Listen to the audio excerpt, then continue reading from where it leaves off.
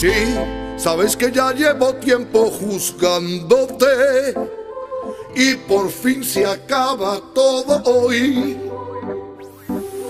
Ya lo imaginaba y estaba esperándole. Dígame los cargos que aquí estoy. Tú has sido imputado por el caso Nos, porque hubo un dinero que se desvió y llegó a tu cuenta misteriosamente. Yo no recuerdo nada de lo que firmé y teniendo en cuenta quién es mi mujer, a ver qué condena piensa usted ponerme. Poquito a poquito, va a ser muy poquito. De momento puedes irte a casa tranquilito. No me des fianza, no la necesito, porque aquí depende quién haga el delito.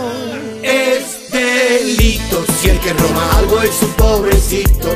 A ese se lo cargan en un momentito y va para la cárcel pero rapidito. No es delito si el que roba algo tiene algún carguito.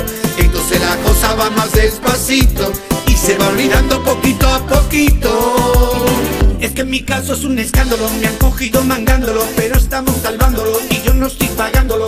Vamos a ver qué dice en unos meses el Supremo. Tú sabes de sobra que yo no piso talego. Pero si lo pisa, ten con cuidadito. Y si un día en la ducha se te cae el jaboncito, tú pega el culito a los azulejos. Y si va a agacharte, te voy a dar un consejo. Despacito, tú te vas agachando pero despacito.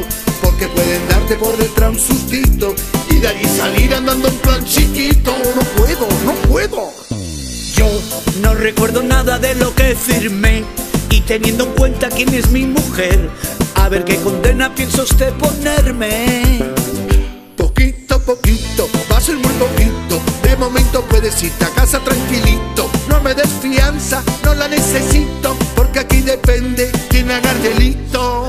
Es delito si el que roba algo es un pobrecito. A ese se lo cargan en un momentito